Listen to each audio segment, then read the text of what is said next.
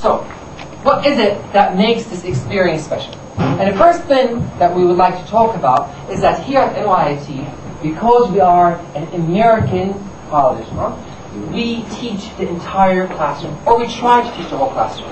What does this mean? It means that when we address our students, we do not have a bias towards a specific type. Who's heard of MBTI? MBTI? MBTI stands for Myers-Briggs Typology Inventory.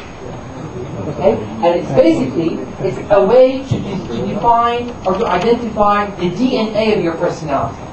It's not about zodiacs or Cancer and Leo and Virgin, something like that. But it's a very scientific um, test that is basically given and provided by very high companies.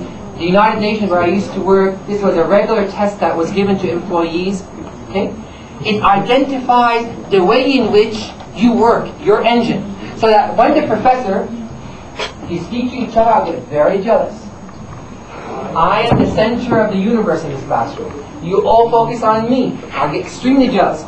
So, you talk to me. Can't talk to anyone else. Okay? Unless you're talking about me, which way you can talk to someone else. Okay. So going back. So MBTI identifies the way in which your personality works.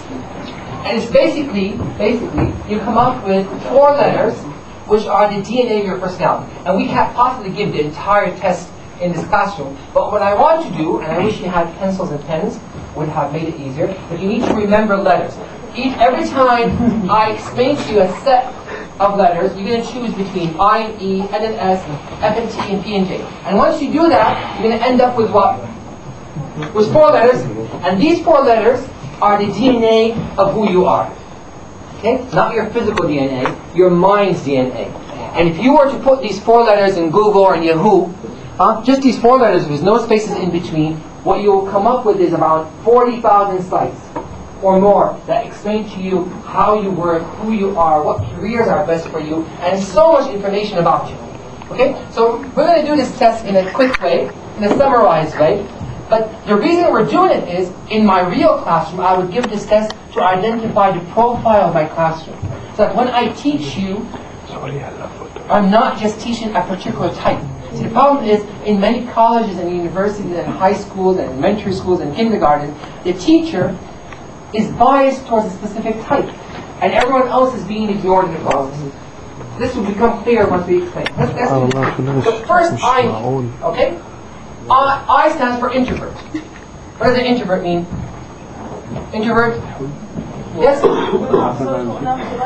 Okay, not social, that's the usual way of understanding it. And E stands for extrovert, right? So extrovert would be the opposite of that, right? So I or E. But now, the, the real thing is not about whether you're social or not social.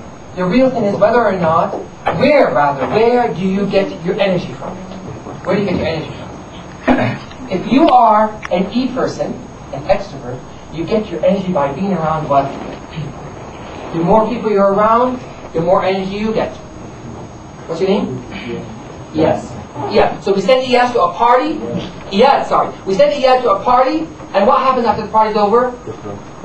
He wants another party. Why? Because he's he's energized. He has he, he gets more and more energy just by being around people.